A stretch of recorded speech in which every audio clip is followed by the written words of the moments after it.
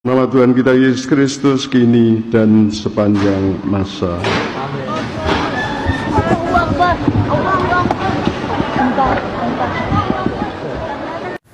Assalamualaikum warahmatullahi wabarakatuh. Berjumpa kembali bersama saya di channel Once Official. Baiklah teman-teman pada kesempatan kali ini saya akan menampilkan sebuah video Yang baru-baru ini viral di sosial media bahwasanya di dalam video tersebut memperlihatkan sebuah gereja Katolik yang sedang memperingati misa. Nah, di saat berjalannya acara tiba-tiba terjadi gempa yang menggoncang gereja tersebut. Namun yang menjadi pusat perhatian pada saat gempa itu terjadi, para jamaatnya seketika berteriak takbir. Apa itu takbir? Allahu Akbar. Artinya Allah Maha Besar. Seperti apa videonya? Kita simak bersama-sama. Nama Tuhan kita Yesus Kristus kini dan sepanjang masa.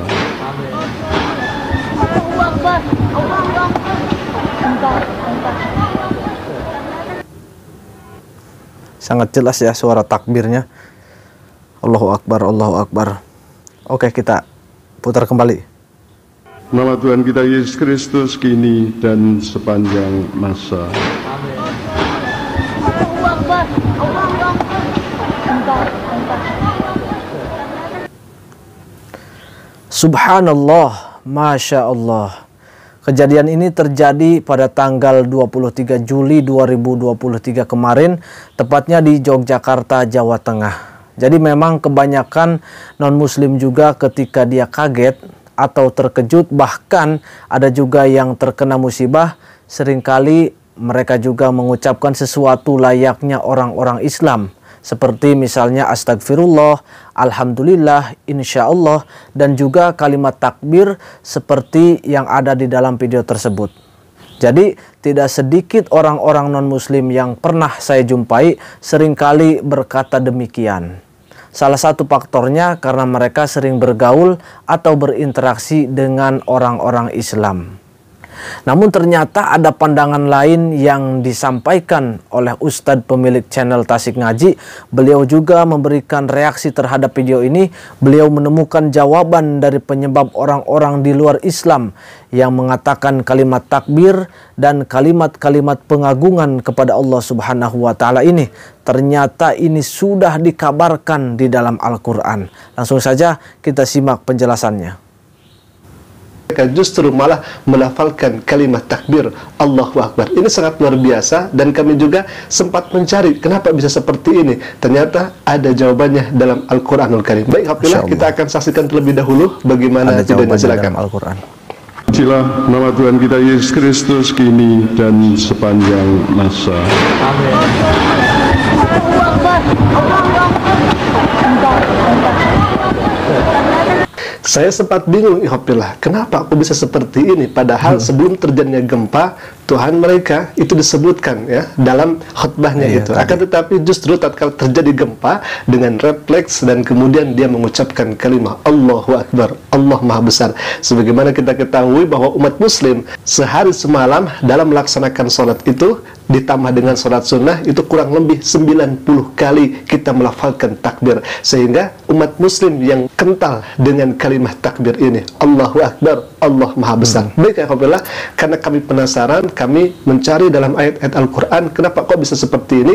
Ternyata ya ikhwatillah jawabannya ada dalam surah Al-Ankabut ayat ke-65. Allah Subhanahu wa taala berfirman Taqala ta'ala A'udhu billahi minasyaitan rajim Fa'idha rakibu fil fulki da'allah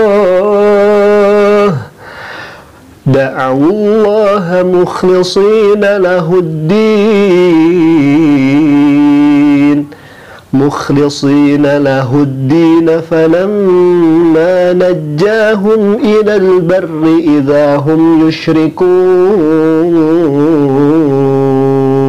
الله فإذا ركبوا في الفلك dan tatkala Enak mereka menaiki perahu nah kejadian ini kami kiaskan ikhafillah dengan kejadian kemarin tanggal 23 Juli itu jadi kami kiaskan boleh jadi hal ini bisa terulang kembali di tempat yang berbeda betul. Fa'idha rakibu mungkin di zaman dulu yang dikisahkan dalam Al-Quran ini adalah naik kepada perahu. Hmm. Akan tetapi di sini boleh masuk ke dalam bangunan atau ke tempat-tempat tertentu.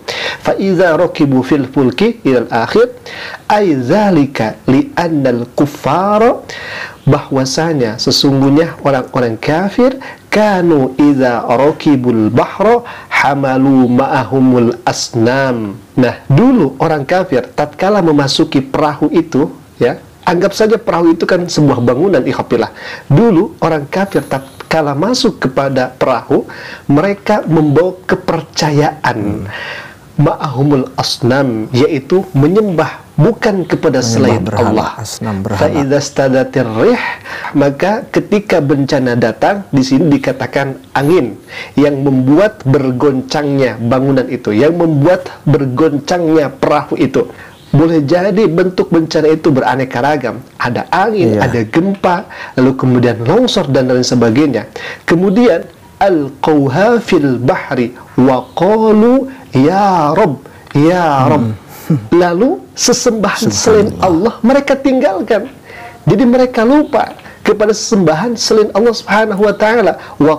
Dan mereka berkata ya Rob ya Rob wahai Tuhanku wahai Tuhanku wa Allah dan mereka menyeru Allah Subhanallah, di ayat ini kita bisa mengambil informasi bahwa dulu non-muslim ikhafillah, tatkala mereka mendapati satu bencana yang membuat hati mereka bergetar, yang membuat hati mereka tidak tenang.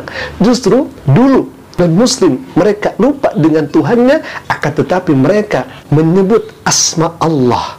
Allah, Allah, Ya Rob, Ya Rob, da'a. Jelas sekali dinyatakan oleh Ustadz ini, ya bisa saja lupa kepada Tuhannya, tetapi dalam saat kondisi genting, kondisi menakutkan, dia menyebut melafadkan Tuhan alam semesta, Tuhan kita, yaitu Allah Subhanahu wa Ta'ala. Jadi, memang sebenarnya Zohiriah kita ini bisa saja lupa kepada Allah Subhanahu wa taala, bisa saja berpaling daripada Allah Subhanahu wa taala seperti saudara-saudara kita non-muslim. Ya mereka bisa saja menyembah selain Allah, akan tetapi batinnya, lubuk hatinya yang paling jujur itu tidak akan bisa berpaling daripada Allah Subhanahu wa taala. Kenapa bisa demikian?